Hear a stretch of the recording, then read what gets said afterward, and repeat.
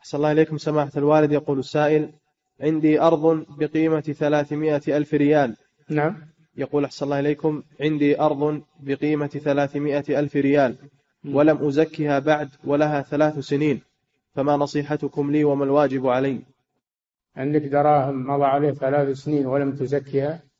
يجب عليك أن تحصي زكاتها عن كل سنة وتجملها وتخرجها في الحال. نعم.